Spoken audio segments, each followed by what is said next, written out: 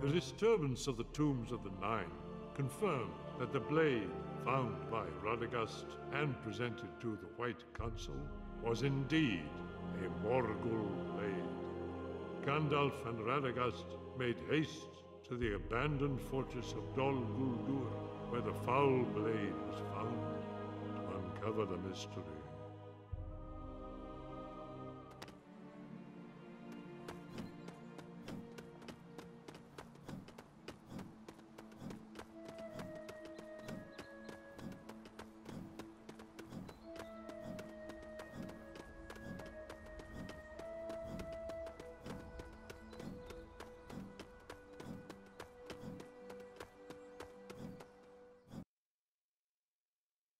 The abandoned fortress of Dol Guldur was clearly home to a sinister and great mystery.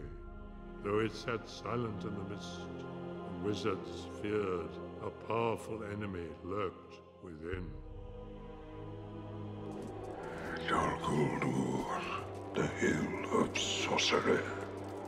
It looks completely abandoned.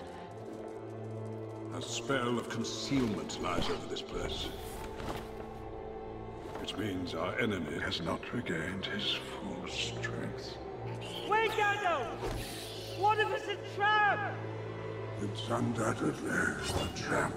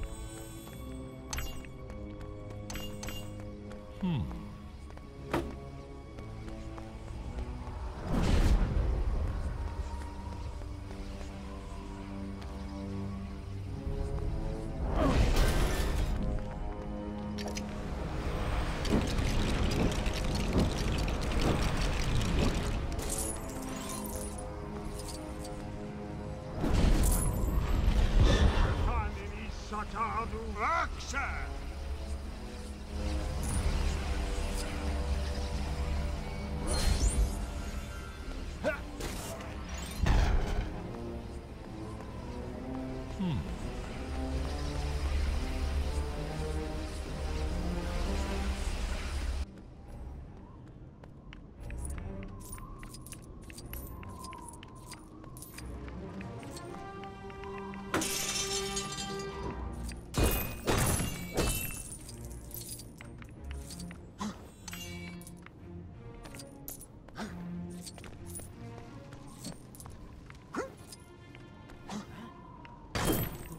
Oh.